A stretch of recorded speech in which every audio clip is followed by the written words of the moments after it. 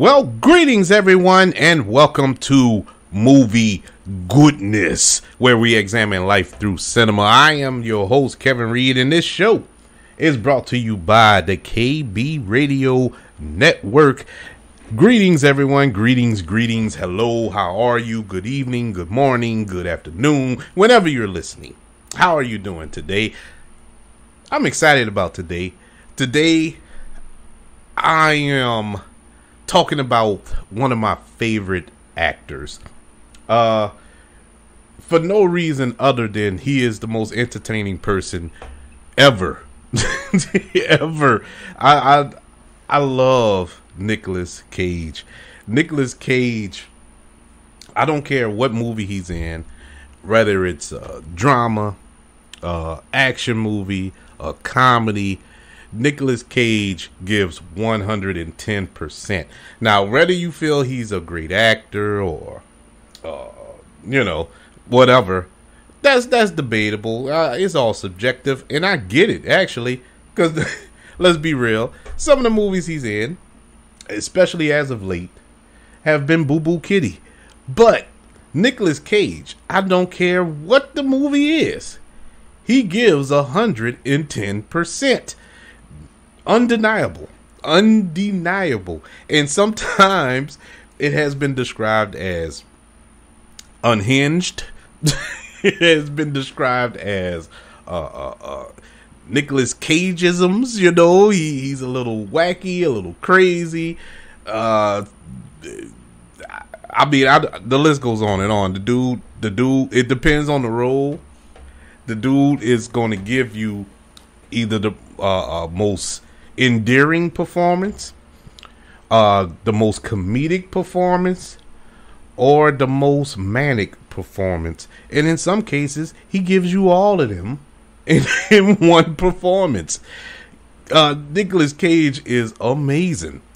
And that's who we're going to talk about today. And when uh, it's not going to be your typical dedication show. I mean, the man's still alive. You know, this isn't a memorial.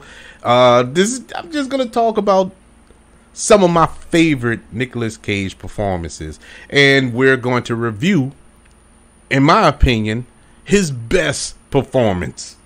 And to this day, it still is considered, in my eyes, as one of the funniest movies I've ever seen in my life. I can watch it no matter what's going on, no matter what day of the week it is, whenever that movie is on and I watch it, I die laughing. And I mean, die laugh.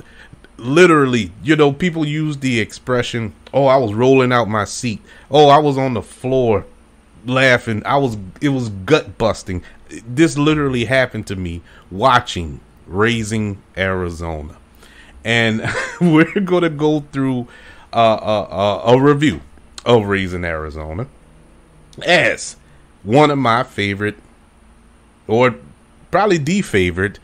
It's hard. It's hard to put up number one on on Nicolas Cage. To be honest with you, and it was so difficult. It was so difficult. I came up with five. so I'm, I'm, gonna talk about my bet, uh, my five best Nicolas Cage films, or to be more accurate, my favorite. Because uh, these aren't the greatest movies of all time, but it, they are my favorite. And no matter what, I'm going to stop and watch one of these five films if it's on. I'm, I'm stopping and I'm watching. Uh, and you may ask yourself, why are we talking about Nicolas Cage today? Well, like I said, today is the release of The Unbearable Weight of Massive Talent. It is being released in theaters this Friday, uh, April the 22nd. And I I'm going to see it this weekend. I have to see it because I love Nicolas Cage. And Nicolas Cage in that film is playing a version of Nicolas Cage.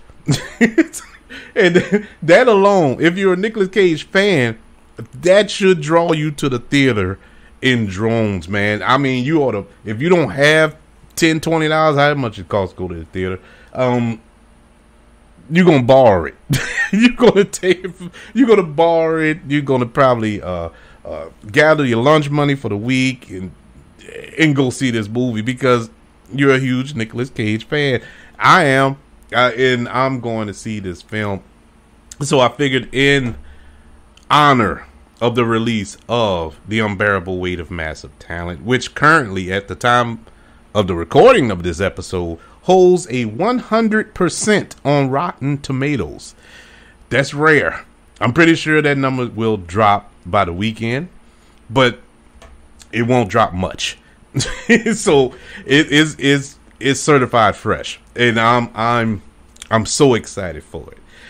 But let's go through a little history of Nicolas Cage. Now, Nicolas Cage actual name is Nicolas Kim Coppola.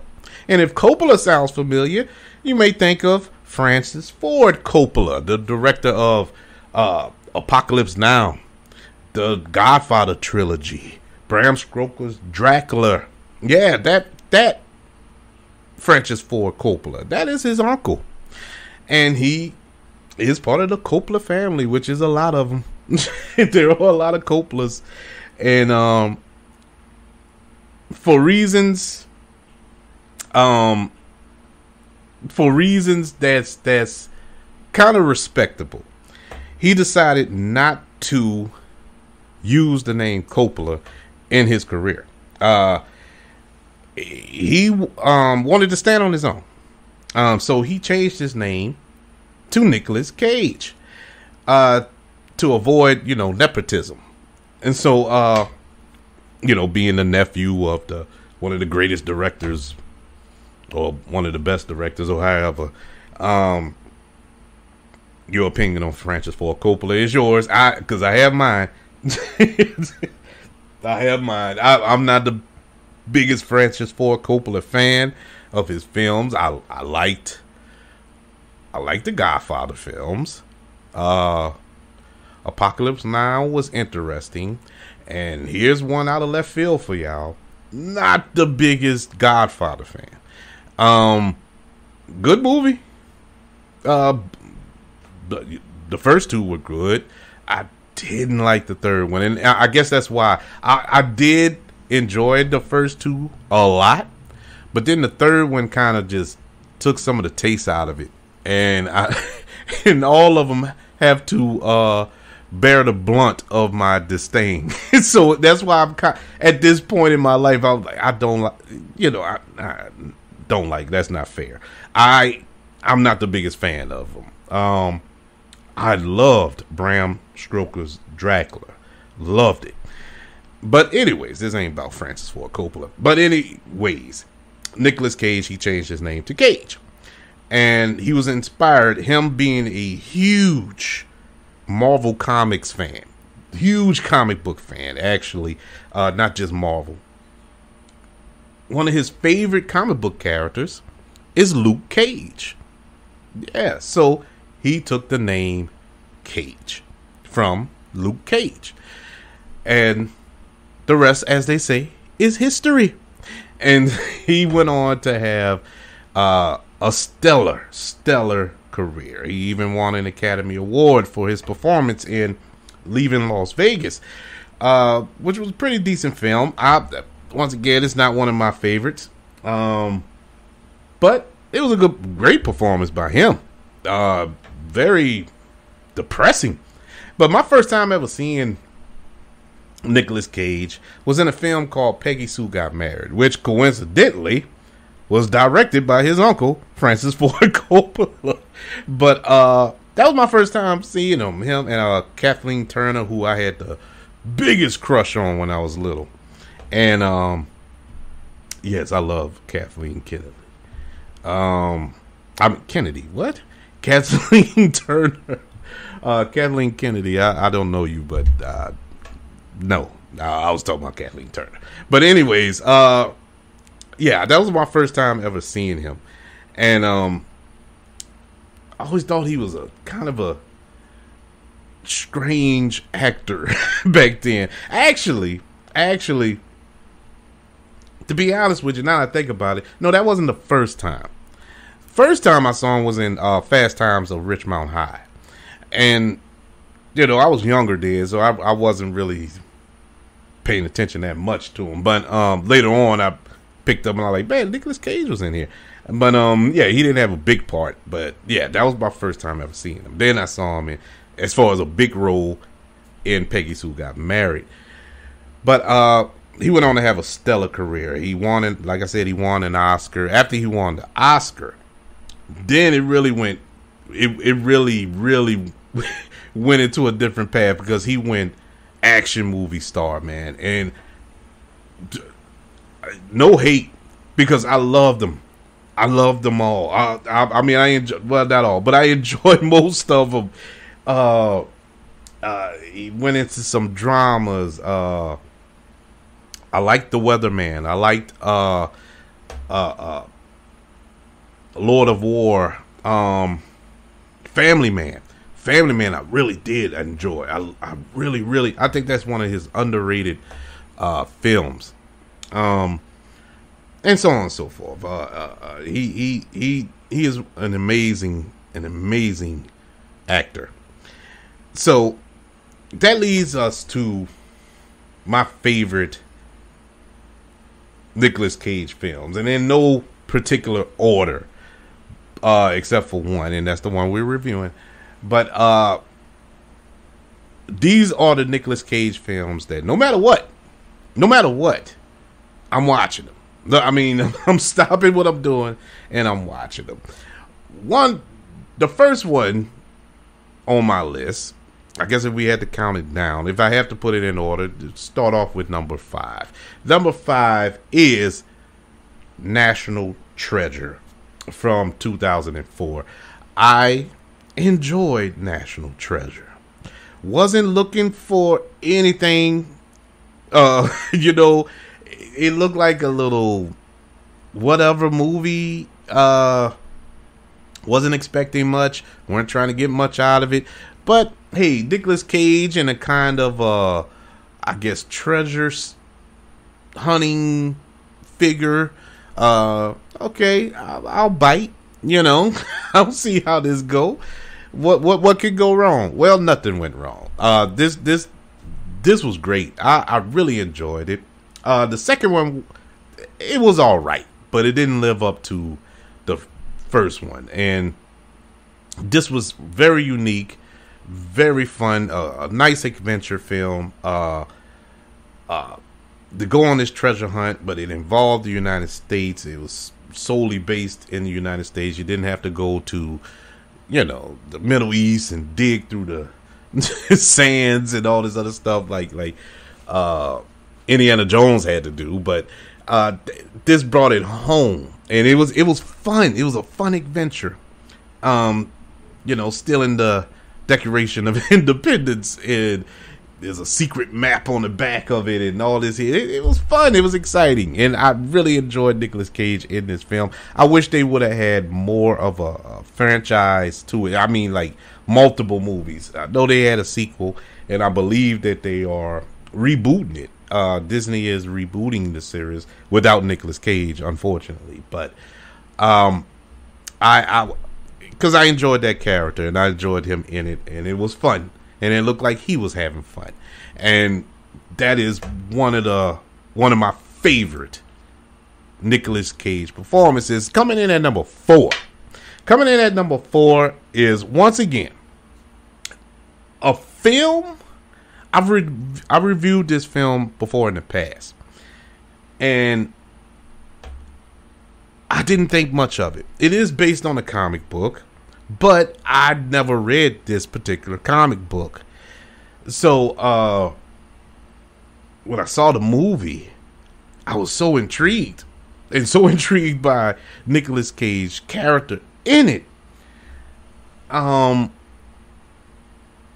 it blew my mind this film from 2010 or 2010 is the black comedy superhero film Kick Ass. This movie rocks. I love this movie, and for one reason and one reason only, Nicolas Cage, Nicolas Cage as Big Daddy. I loved Big Daddy in this movie. I guess because I'm a I'm a Batman stan, and he he basically was Batman in this movie. Uh, he stole the movie. He stole the movie from uh, Aaron Johnson. he he really did. It they they could have called it Big Daddy. I mean, it was. I loved his character. and the relationship between him and his daughter, p- portrayed by uh, Chloe Grace Moretz, was dynamite. His turn when he uh, uh, uh, put on the Big Daddy outfit or the costume or however you want to put it, uniform, how whatever, and he had the Adam West voice. from the '60s Batman series, uh, with the Fu Manchu mustache and everything. Oh man, I loved his performance in this movie. Like I said, he stole it. He deserves much more credit than what he uh, gets for it because it was amazing. It truly was an amazing Nicolas Cage performance, and it lands at number four on my favorite Nicolas Cage films. Coming in at number three was his first jump into the action. I mean, right after he won the Academy Award, he walked off of the stage from the Academy Awards uh, without being slapped by Will Smith. He walked off the stage onto the set of the 1996 action thriller directed by Michael Bay, The Rock. Uh, this was so much fun in the theater if you see it in the theater. Uh, even if you see it at home, I don't care. This was so much fun. This is this is the type of action movies I love. These 90s action films where it was just just pure ridiculousness. Um I loved it. I loved it and I ate it all up. The film also starred uh, uh, Sean Connery and Ed Harris as one of this is one of his best performances. Uh, you actually got some great performances here from Sean Connery. Um, all all three of these gentlemen gave drama worthy performances, even though it was it was silly stuff. But they their performances were great. Sean Connery was basically he went he channeled his James Bond from back in the 60s um which a lot of rumors are linking uh, a lot of theories uh uh state that uh that's basically who he was he was James Bond who was captured by the United States government and blah blah blah uh which is a good theory which actually holds a little weight to be honest with you but uh Nicolas Cage as this um, FBI chemist who's not an action guy. He's not a shoot 'em up guy, but he he got drawn in on this mission to uh, uh, invade Alcatraz after it was taken hostage. You know that was it's the nineties. You remember everything got got taken hostage. Uh, uh, uh, whether it was Alcatraz or a building or a plane or a subway or a bus or whatever, everything, everything was a terrorist. Um, it was on a terrorist bullseye back in the nineties. Uh, until terrorists really did start doing stupid stuff, and now they don't have that anymore in film. But um, before all that, before reality caught up to it, it was exciting to watch these films, and The Rock was one of them. I love The Rock. Uh, very fun, fun movie, fun action.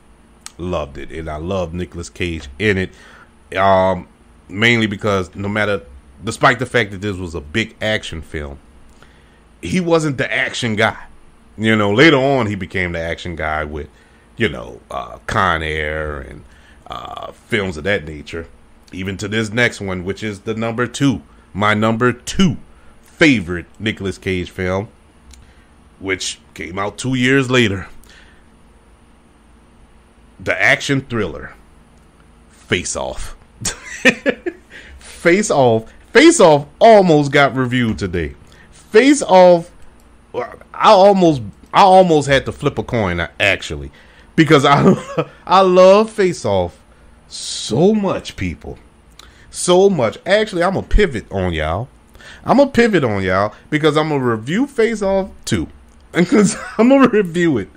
Uh, even though you might say, "Hey, you reviewed The Rock too." Well, I didn't really review it, but um, this Face Off, I'm going to review as well uh, as my number two favorite Nicolas Cage film. I was working at a movie theater when this movie came out, and it was kind of an underrated movie of that summer, of the summer of '97. Um, I just graduated, in fact, and um, from high school, uh, and I'm working at this movie theater, and I see that it's John Travolta. I see Nicolas Cage. It's called Face Off. I'm like, okay, what is this? A hockey movie? Um, I'm like, what is this? What is what is this movie about? You know, and that, like I said, it uh, back then, this is before YouTube and you know the boom of the internet. Didn't look up trailers. You saw trailers sparingly, so it was rare for you to see what a movie was really about. And even when you did see the trailer, uh, they didn't show you uh, three fourths of the movie. Um, they just showed you little little snips, and that was that. They had the voiceover, and it kept it pushing. So I didn't know. I did not know that this movie was literally about a FBI agent and a known terrorist switching faces. that was the movie.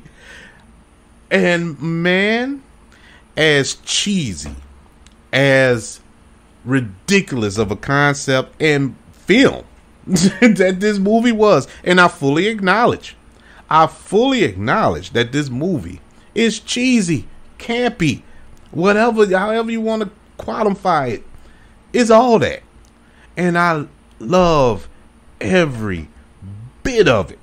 Um, this film was directed by the action movie guru John Woo. Um, this was amazing of a film. Uh, the film starts off with uh, Nicolas Cage as Castor Troy, this this terrorist. He's setting up this bomb in Los Angeles, and you know the bomb is going to explode in a few days. However it goes, and John Travolta is the FBI agent who's been tracking Nicolas Cage for the simple fact, uh, well, Nicolas Cage had killed his son uh, by accident, but he did kill him because he was trying to kill John Travolta's character. Uh, but whatever the case may be, and and for years he's been tracking him, trying to catch him. So he knows him inside and out. He knows everything about Castor Troy or, or Nicolas Cage. It's gonna get kind of confusing because they end up switching. But um, I'm just gonna say Nicolas Cage and John Travolta. But uh, eventually he catches up to him. He gets him. He catches him. He thought he killed him, but he ended up putting him in a coma. Here's the problem. They find out that before he went into this coma, he set this bomb in the middle of Los Angeles. Don't know where it's at. They can't find it. So they have to find out where it is. Unfortunately, Nicolas Cage is knocked out, right? He's he's in this coma. So they can't get him to tell you. But Nicolas Cage has a brother who works for him and uh well works with him. And he's in prison. They caught him as well. And so uh he would know. He'll be the only other person who would know. He's not going to talk. He's not gonna. He's not gonna rat out his brother. He's not gonna uh, uh, cooperate with the authorities. So they come up with this plan. Um, the government that is to switch faces, put Nicolas Cage face on John Travolta's face. So John Travolta, who knows Nicolas Cage inside and out, literally, uh he can go into the prison, talk to his quote unquote brother, and find out where this bomb is. So that's the setup. Um, it's a long setup, but it's a setup. So uh, he goes to this high maximum security prison. He gets the information. while he's in the prison. Now nobody knows this. Only two people or three people know about this little procedure that took place. Not the FBI, not his bosses at the FBI. Nobody knows about all this. Only the doctor, the I guess CIA agent who came up with it, and Nicolas Cage, not Nick, uh, John Travolta's friend, right? So they get together, uh, do this thing, send him on this mission. He finds it out. But while he's in the prison, wouldn't you know, Nicolas Cage wakes up from his coma, um, with no face. he has no face. So, uh, he uh he calls his crew. They kidnap. Yeah, this is so hard because I'm yeah, I'm like I'm like telling the story. I'm just telling what's going on in the movie. I'm trying not to do that, but the movie's so exciting. And I want to get to this particular scene, and I had to set it up. I had to talk through it to get to this particular scene. But okay, uh, Nicolas Cage wakes up. He finds out that his face is gone. He found that out pretty soon. Um, so he calls his crew, kidnapped the, the doctor and everybody else who knew about the little experiment. All right, so he gets the doctor to put John Travolta's face on him. So now he can masquerade around as the FBI agent. So now we get now we get to the part where I, I, wanted to talk on, and the reason I went through that whole breakdown of the whole first act of this movie. The scene when Nicolas Cage is standing there, he's waiting for uh, uh, uh, uh, his partner to come in so he can tell him he knows where the bomb is. Blase blah. He has the biggest smile on his face because he's like, I-, I did it. I found it out the door swings open and he's standing there. You, you get what I'm saying? he's standing there because it's is it is his face, and immediately he knew that this was Castor Troy, and John Travolta. I got to give him all the props too. He brought it. They played off of each other perfectly. I feel. I if you ever go back and watch this movie, which I know a lot of people won't, but if you ever go back and watch this movie, and when the switch happens, um, it is believable in my eyes. It's about as believable as you're gonna get. Um, other than the fact that their body types are nothing alike, to nothing alike, because you know uh, John Travolta is kind of a he's a big guy. He's not fat, you know, but he's he's a bigger guy than Nicolas Cage. So I always wondered, okay, they switch they switch faces, but what about their physique? You know, what about their body type? They're different there, but you got to suspend disbelief. It's movies. But anyways, that scene when they first meet when when they first meet back up and they've they've switched was so awesome to me. It was like it was all beautiful. The, the walk, they they mastered each other's walk, their their speech patterns, and all this other stuff. I mean, it was this movie is truly underrated. Like I said, cheesy, cheesy, campy, yes, silly, all that. It's all that, but inside of all that, once you peel peel back those layers on that onion, man, it is it, it is an awesome movie. The action is great. The performances I felt was great. It was an exciting movie. Um it's one of the best. I honestly, it's one of the best. If you want to call it a guilty pleasure, fine. We'll go guilty pleasure. I'll I'll I'll bite. I'll bite. It it it, it is. but I loved it. I'm, I was all in for it. I love Face Off. Face Off. I'm a grade it. Face Off gets in gets a B plus. I I cannot I cannot I cannot dislike this movie. And I've tried. And so I'm really trying because there are a lot of dumb parts in this. This the movie's cheesy. Things explode for no reason. You know, it's typical John Woo. You know, John Woo is is is a, a, a action nut man. He just do. They talk about Michael Bay and his Bayisms, how he, he just blow up everything. Yeah, but it's logical reasons why he blow it up. Um, well, I say logical, but you know, you can see how these things blow up. John Woo, things blow like it, it is. It's a scene in this movie towards the end when a boat flips over in the water and it explodes. And I'm talking about explodes with fire. It's in the water. but he just wanted an explosion. And so they exploded this boat, blew up this boat. Uh, but like I said, I loved it. I loved it. I cannot hate on this movie. Uh, Face Off gets a B plus, man. So you see my excitement for Face Off. You see my excitement for Face Off. It is my second favorite Nicolas Cage movie. So you may, you may wonder how can something overtake that? Easy.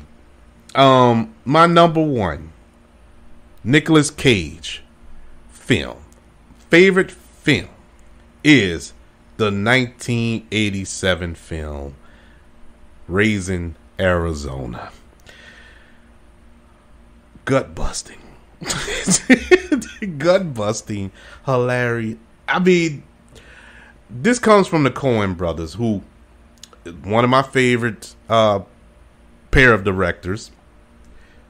You know, Big Lebowski, Fargo, uh, uh, The Tragedy of Macbeth. Uh, the list goes on and on. Raising Arizona is so funny.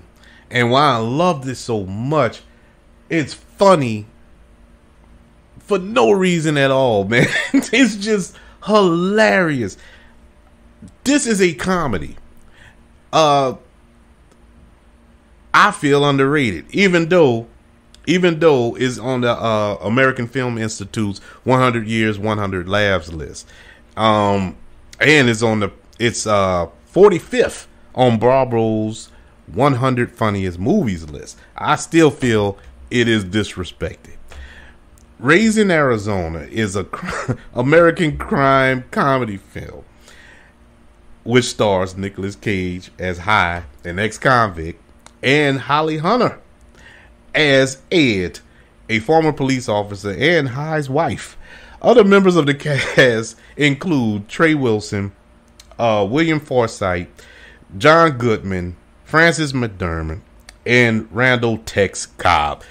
Uh, the movie uh, once again, this introduces us to. Well, it doesn't introduce. Well, it introduced to me.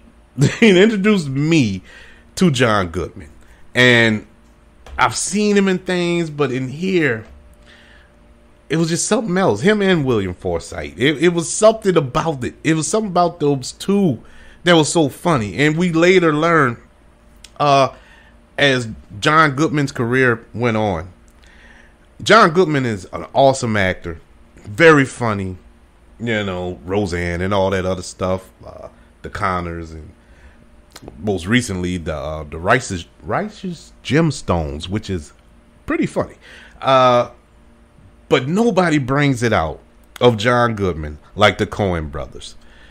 Uh, every time he pops up in a Coen Brothers film, which is almost all of them, he is hilarious. I I I, I present to you uh, uh the Big Lebowski. His performance in the Big Lebowski, he almost stole that movie. Um, I loved him in here, but I even loved Nicolas Cage even more because Nicolas Cage he plays this ex-convict, but he's this soft-spoken. he's this soft-spoken guy who gets into this stuff, and it's like it's too big for him. You know what I'm saying? It, it's it's too much for him to handle, and they kidnapped this baby. This the story of this movie. They kidnapped this baby from this. Uh, is he a furniture tycoon? Something like that. Uh, furniture store person, but he's a rich guy. But they have, I want to say, six tuplets or something like that. I, I forgot, or quadruplet, quadruplets. Or I, I forgot. It was a lot of. they had buku kids, and Hi and Ed were trying to have a baby.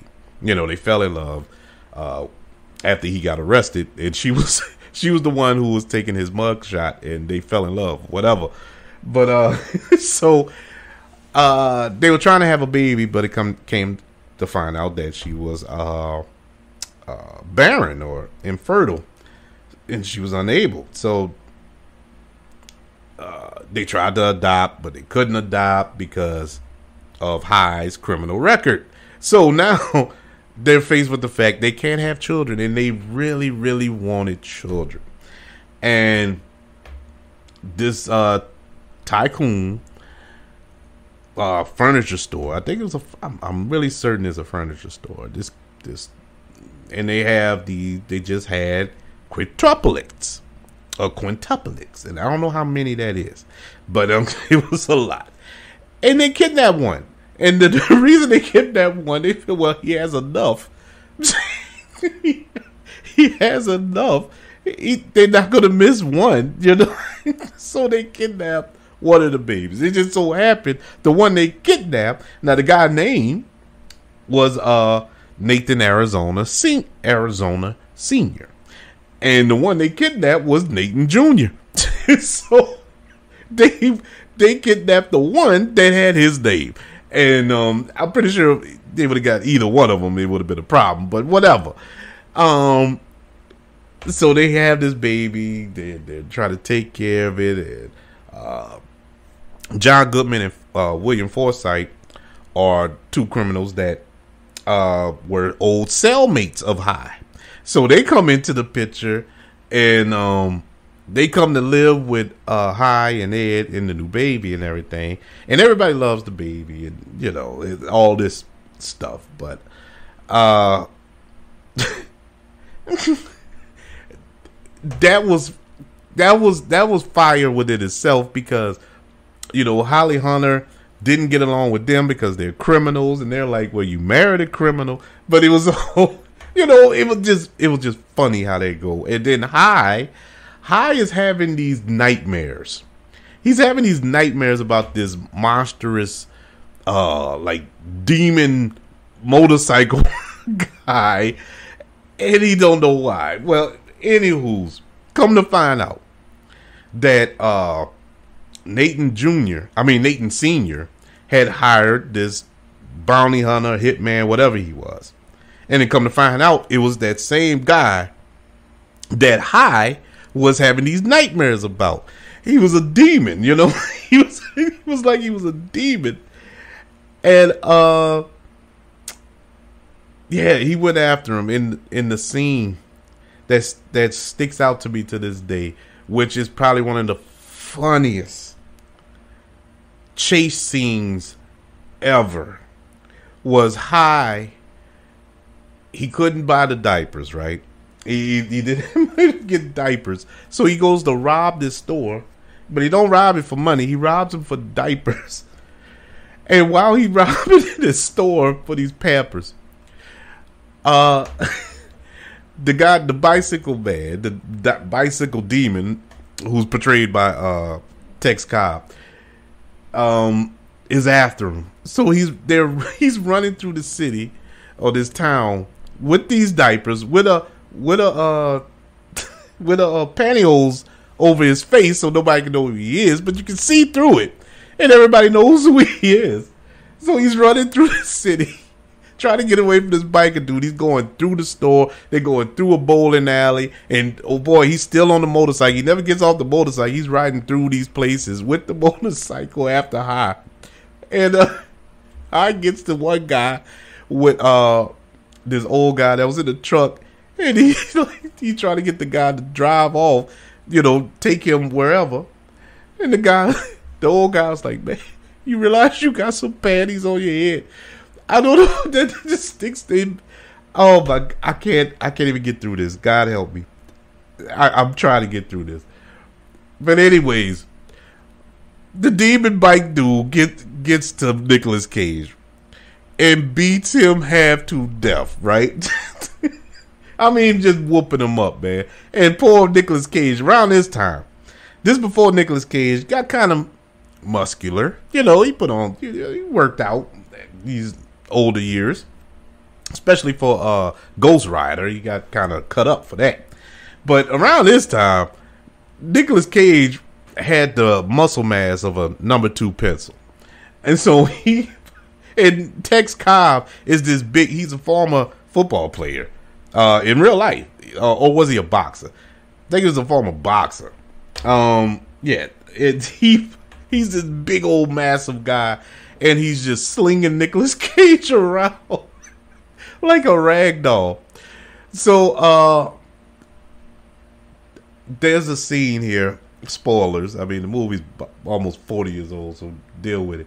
Um, there's a, the scene at the end when the guy was bear hugging Nicolas Cage, and Nicolas Cage is screaming for his life, and he pulls one of the pins out of a grenade that was strapped to uh, the biker's chest, right? So the biker lets him go and he's about to kill. Well, he didn't realize he did it. He let him go. He was about to shoot him, and he holds up his hand and kind of like block the shot, block him from getting shot. And while he pulls up his, he holds up his hand. The grenade pin is on one of his fingers. So the he looks down at his at his you know little grenade vest because he had buku grenades and he looks down at it and he looks back at Nicolas Cage and Nicolas Cage Nicolas Cage just said, I'm sorry. the way he said it. Because he was sincere. He was like, I'm sorry.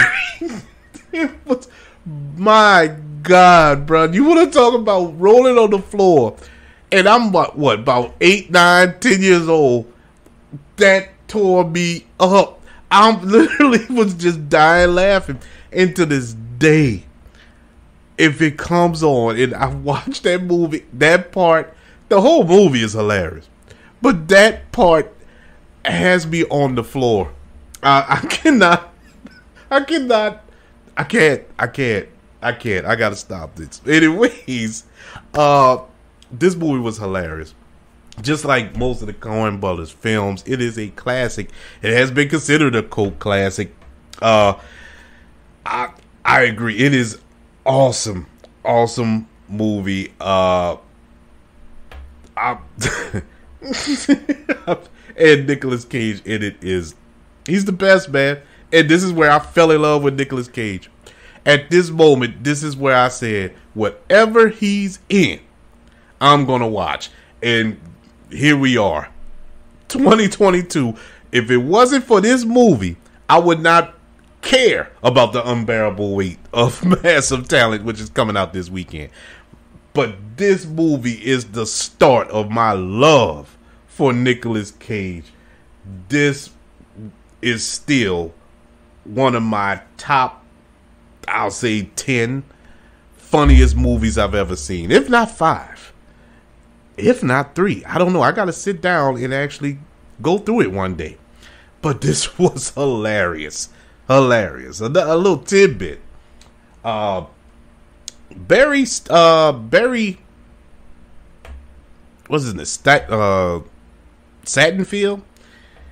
He's a director. He directed uh, the Men in Black films. He directed the Addams Family films. Very, very good director. He was the cinematographer. This is one of the first uh, uh, feature films he was involved with. He was the cinematographer of this film, and you could tell if you're a you know student of that type of thing, and you catch the eye of it. His signature kind of uh, camera work here, you can see it um, in this film where it all started from. But he he he was a real good friend of the Coen brothers, and they all they worked together a lot until he moved on to make his own films. He also did Get Shorty, which was excellent. But yes, uh, this film was made for five point five million dollars. It grossed twenty nine point two million dollars. And the Coen brothers said to this day, this was the most profitable film they ever made. Um, which I find mind blowing. Um, because of the films they have made. Uh, the Big Lebowski, like I said, but that lost money actually, even though it's it rivals Raising Arizona as one of my favorite comedies. Uh, uh, no Country for Old Men. My God, people, what a masterpiece! Fargo uh, won an Oscar. I mean, No Country for Old Men won an Oscar. I mean, these people, uh, the Coen brothers are money, but they don't make it. At least their films don't. Uh, the remake of True Grit. Oh man, come on, man. Yeah, the Coen brothers are money in my eyes. I am huge fans of theirs. And this is where it started with me. This was their second film. Their first film was uh, Blood Simple, and uh, uh, it's more of a dark thriller. And they wanted to make something lighter after that because that wasn't really their thing. Even though they have dark subject matter in all their films, but they do it with a lighter tone because there's dark subject matter here. I mean, they kidnapped a baby. Criminals kidnapped the baby, and uh, but it was funny, you know. uh, Big Lebowski, that was a kidnapping movie, you know, but it had light tones to it, and, but it's enjoyable. Fargo, Fargo was a dark movie, but it was hilarious. But it was dark. Um, they mastered that. Not too many filmmakers can pull that off, but they can. And um, man, it started here. Mwah! Uh, great film, great performance by Nicolas Cage. This is where I fell in love. Raising Arizona gets an A plus. Loved Raising Arizona. Loved Nicolas Cage. I am there's no more I can say, man. I mean, this is this is why I love him. This is why I, I refuse to give up on Nicolas Cage. Those five films I just named, and if you notice, those are through different times of his career. It, it, this isn't just uh, a little run he went on. It, this started in 1987, you know, and I didn't even bring up other films in his filmography. These are just my five favorites because he has some others in there. I mean, Vampire Kiss, which is campy, stupid, but it, I enjoyed it. Um, you know, I didn't even bring up Con Air. I didn't bring up. uh Oh my God, the. uh I was just looking at it. I can't. I'm blanking, but anyway, it don't matter. He's had multiple excellent films, and man, I am so excited for the unbearable weight of massive talent. Uh, please, Nicolas Cage, don't stop making movies. Matter of fact, he is uh, currently down here in New Orleans making a film. He is currently making a film uh, where he will portray. Hear me out, people. Uh, I'm gonna try to get through this without crying. Nicolas Cage is portraying Count Dracula. Yes, they are filming that currently here in New Orleans uh, as we speak. Uh, saw a set photo of him as Dracula, and I'm like, yes, yes, take my money. I can't wait for that. I love Nicolas Cage, man. I don't care what he's. They can make a two-hour movie of Nicolas Cage making peanut butter sandwiches, and I'm all in. I'm, I just love that dude because he's gonna make that entertaining. I'm telling you, he's gonna make it. I brought it up in can't wait Wednesdays when I was talking about Nicolas Cage. Nicolas Cage did a film, and I looked it up and I found it, and now I lost it again. But um, it was a film he did. Uh, try to hurry up and find it. Blah blah blah blah blah. blah. Willy's Wonderland. People, let me tell you something. This came out last year. I saw it. It was on Hulu. Nicolas Cage didn't have any dialogue in this movie. He didn't do nothing. He killed these little possessed things without talking. He didn't talk the whole movie. And it wasn't because he was mute or anything. He just didn't speak. and he'll kill the things. He'll go drink a, a energy drink, and he'll play a pinball machine. Machine. Another thing will pop up. He'll go kill that, drink an energy drink, and play the pinball machine. That was the whole movie. And you know what, people? I was entertained because it was Nicolas Cage. Love this dude, man. I love this dude. Uh, what's your favorite? Are you a fan of Nicolas Cage? If you are, what's your favorite Nicolas Cage movie? I just gave you five of my favorites, even though I have many others. What's your favorite? You can tell me by emailing the show, KB Radio Podcast at gmail.com. Let me know what your favorite Nicolas Cage performance is. Uh, you could also, if you don't like emailing or don't know how to email, because I'm still learning how to do that, uh, you can. you can look us up on social media. Yeah, look up the KB Radio Network, whether it's on Facebook, Instagram, Twitter, TikTok, wherever. Let me know what's your favorite Nicolas Cage film. Um, everybody, I truly enjoyed this episode. I love talked about Nicolas Cage. I love going over just a few of his films. Uh, and I can't wait to add more to the list. Will it be unbearable weight? of massive talent? We'll see. I'll let you know because I'm going to see it this weekend. Uh, everybody, don't forget if you're listening on iTunes or Apple Podcasts, leave those five stars, leave those reviews. Helps the show out tremendously. Uh, if you're listening on Spotify or iHeartRadio or various other platforms, you can follow the show. Follow the show, share the show, let everybody know you're listening to the KB Radio Network. Everybody has been an honor, privilege, and joy to speak to you today about one of my favorite actors of all time, Mr. Nicolas Cage. Can't wait to speak to you again. I love you. Continue to love one another. And until we speak again, you all be blessed.